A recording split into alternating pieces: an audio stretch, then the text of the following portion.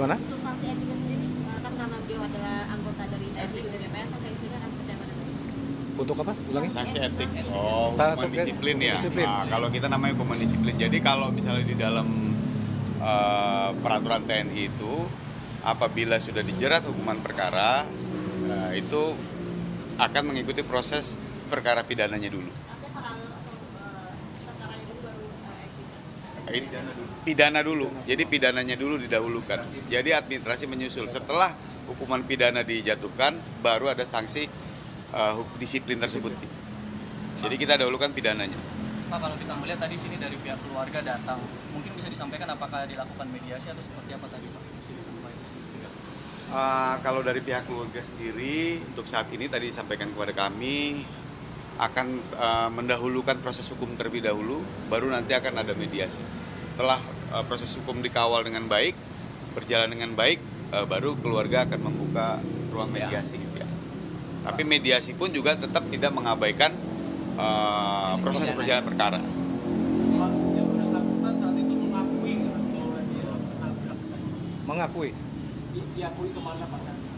Langsung langsung melapor atau Untuk kronologinya Pak dari awal. Eh, berdasarkan keterangan yang kami dapatkan setelah kejadian kembali ke kediaman melaporkan kejadian tersebut kepada istri dan Brik. Demikian. Jadi yang bersangkutan langsung kenapa yang bersangkutan kabur?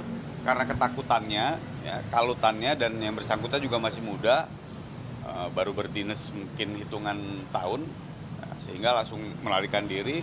Setelah itu langsung melaporkan kepada istri komandan brigade tersebut dan istri komandan Danbrik melaporkan kepada Danbriknya dan Danbrik langsung berkomunikasi dengan kita, sehingga kita langsung bisa eh, mengamankan yang bersangkutan. Pak, dengan kecepatan yang tadi 60 sampai 70 km tadi itu ada indikasi kalau yang bersangkutan itu mengambil jalur korban. Betul, Betul. yang bersangkutan memang mengambil jalur korban.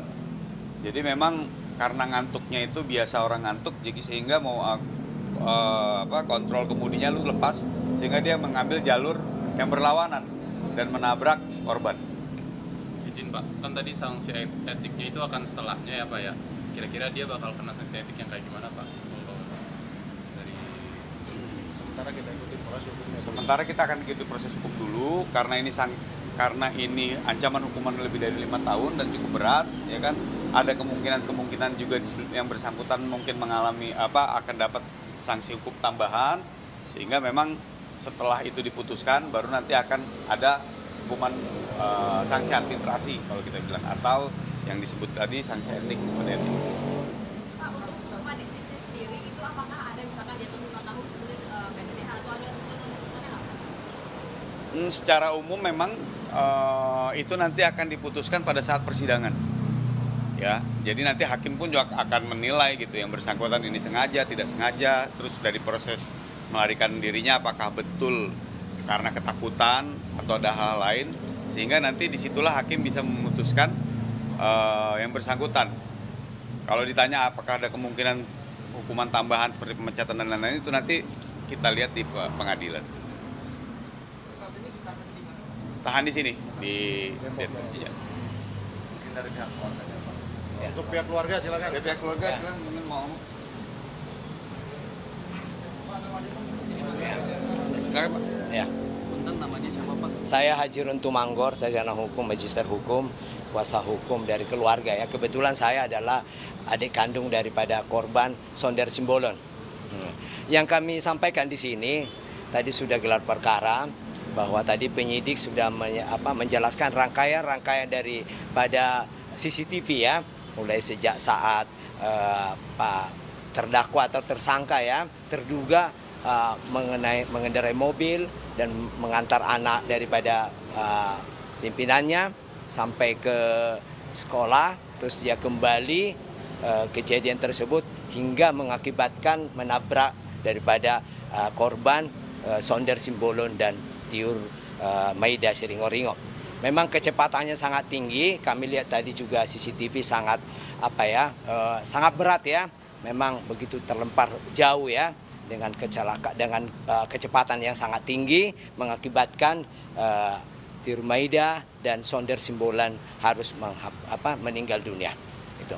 Itu berapa meter sih Pak jarak pas ditabrak itu korban terpental Pak? Karena Oh, kita secara ini tidak kita lihat ya, maksudnya berapa meter, tapi sangat jauh. Karena memang kita lihat ya, eh, objek ya, objek subjeknya ya, bahwa tabrakan itu memang hasilnya memang ya, tabrakannya memang sangat di luar daripada pemikiran bahwa memang sangat sampai terbang ya, terbang dan ke- eh, saya kira ada sampai 20 meter atau 10 meter eh, apa namanya terlempar. Gitu Mungkin langsung meninggal dunia di jelas meninggal dunia tem- meninggal dunia di tempat. Iya. Harapan kita tadi sebagaimana disampaikan oleh Pak Komandan ya, kami dari keluarga, dari anak kandungnya ya Rendra bahwa kita akan apa namanya sangat concern, sangat bagaimana memperhatikan ya bagaimana perkara ini, perkara tindak pidana ini yang sebagaimana tadi dijelaskan ada pasal 310 uh, yang ancamannya 6 tahun ya dan dendanya 12 juta. Terus kemudian ada juga pasal 312 dan juga pasal-pasal lainnya. Tapi kita berharap ini ya mengenai pasal itu adalah urusan daripada penyidik tapi kita harapkan uh, perkara ini akan berjalan dengan bagus dengan baik sehingga mendapatkan putusan yang uh, seadil-adilnya dan meng- apa, menyangkut daripada kepastian hukum. Pak? Apa? Coba terangkan. Ya, izin menambahkan. Ya, sebelumnya mungkin saya mewakili keluarga sebagai putra sulung dari korban mengucapkan terima kasih kepada Bapak dan Pendam Jaya, Pak Irsad, Pak Kapendam Jaya, Pak Indra dan Pak dan Denpom Jaya 2, Pak Simbolon. Terima kasih banyak atas gelar perkara yang telah dilakukan hari ini. Nah, terkait tadi yang sudah ditanyakan dari pihak eh, teman-teman media, pertama soal berapa jauh terlemparnya kebetulan kemarin sempat diinformasikan oleh penyidik. Jadi bapak itu terlempar sejauh 21 meter setelah diukur oleh penyidik dan ibu terlempar sekitar 12 meter. Ini informasi dari penyidik. Lalu eh, apa namanya tadi disuguhkan juga kepada kami eh, CCTV bukti berupa CCTV rekaman CCTV dari lokasi kejadian sepanjang perjalanan dari pelaku dan korban. Dan memang eh, bukti CCTV tersebut masih ada yang kurang lengkap karena informasi dari penyidik masih ada yang terpotong dan belum didapatkan potongannya. Jadi kami mohon supaya bukti CCTV itu bisa dilengkapi oleh pihak penyidik terutama karena bukti CCTV itulah yang bisa menegaskan bahwa tersangka Prada MW ini adalah pelaku yang sebenarnya. Kalau bukti CCTV-nya tidak lengkap maka akan muncul keraguan dari banyak pihak, terutama dari pihak keluarga. Tentunya itu yang kami tunggu dan kita akan tunggu bersama-sama. Yang tadi ditanyakan maaf. Kronologi tadi Bapak. Ya, kronologi. Kronologi Bapak Ibu itu sedang dalam perjalanan dari menjenguk eh, cucu yang baru lahir ke pasar. Rencananya mau beli perlengkapan bayi. Nah, dalam perjalanan dari tempat eh, melahirkan ke pasar tersebutlah eh, terjadi kecelakaan tersebut. Yang jaraknya juga tidak terlalu jauh dari eh, tempat melahir eh, tempat pertama Bapak Ibu berangkat. Ini kan pasangan suami istri. Ya. Ada anak yang masih sekolah atau gimana? Eh, kebetulan sudah berumah tangga semua. Ya. Izin Pak, Pak, kita kema- tadi Pak yang dalam masalah gelar perkara itu melibatkan berapa saksi dan ahli ada nggak sih Pak yang dilibatkan? Oh iya, gelar perkara itu biasanya dalam hukum acara ya, baik dalam hukum acara pidana maupun dalam penyidikan itu kan uh, gelar perkara. uh, Alhamdulillah ya, uh, Bapak Komandan tadi datang, terus juga penyidik dan disodorkan juga dan disampaikan juga mengenai CCTV dikeluarkan oleh keluarga. Uh, saya sebagai kuasa hukum keluarga dan sebagai wakil dari keluarga Rendra Valentino itulah apa namanya dinamika daripada uh, gelar perkara di mana kita sudah jelas tadi uh, potongan-potongan apa namanya CCTV itu sudah kita lihat yang tadi disampaikan oleh anak saya Rendra bahwa itu yang kita tanya dan itu akan segera uh, akan dilengkapi oleh pihak penyidik begitu. Ahli di sini kan ada apa ya eh, ahli itu kan bisa nanti dalam pengadilan ya kalau kita mintakan. Tapi itu kan penyidik yang punya eh, apa namanya eh, hak untuk eh, menentukan ada ahli. Kalau ahli itu kan ada misalnya hal-hal yang memang belum bisa dipecahkan dalam perkara ini maka disampaikanlah ahli. Nah, sementara saya lihat belum uh, ada kegunaan ahli, urgensinya ahli di sini. Kalau misalnya kita sampaikan ahli itu kan biasanya dalam uh, sudah yang kita ketahui ya tindak pidana yang lain lain lain tapi yang ini uh, nanti itu adalah wewenang daripada penyidik. Terima kasih. I- izin pak izin pak kan tadi udah tersangka boleh nama lengkap dan pangkat serta jabatan tersangka Saya rasa kalau untuk apa kepentingan media ini kita kasih ininya aja Pak. Eh, inisialnya saja. Inisialnya. Untuk usia sendiri Pak, boleh tahu kalau boleh tahu uh, tersangkanya usianya berapa? 22 tahun. Baru sekitar Satu tahun. Satu tahun. Oh, tahun baru benar satu tahun. Karena 21 itu baru pendidikan dia. Satu lagi Pak, kemarin kan uh, untuk pelaku sendiri sudah ketemu lagi dengan Bapak, ada permintaan maaf Pak? Oh belum. Ke- Ketemu kemarin waktu saya dimintai keterangan pada hari Senin yang lalu, ketemu pun hanya di balik sel, jadi pelaku ada di sel dan saya di luar sel dan tidak sempat komunikasi sama sekali.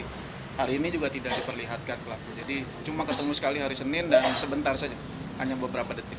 Perasaan bapak waktu tahu apa orang tua ditabrak itu gimana pak Ya yang pasti shock kak, shock dan marah ya, shock dan marah. Tapi ya saya berusaha untuk eh, apa namanya seobjektif mungkin lah melihat persoalan ini. Tadi kan belum, belum ada komunikasi ya sama Iya. tersangka. Nah kalau misalkan dari pihak keluarga dan tersangka ini udah ada belum yang datang coba? Kalau yang men- menghubungi dari Komandan Brigif, Komandan Kesatuan dari tersangka, tapi saya menyampaikan karena menghubunginya by WA ya, melalui WA saya sampaikan kepada beliau eh, untuk sementara kami akan fokus ke persoalan hukum dulu. Selain itu juga kami masih shock, eh, jadi kami minta waktu kalau memang mau berkomunikasi bersilaturahmi silahkan, tapi setelah proses hukum selesai.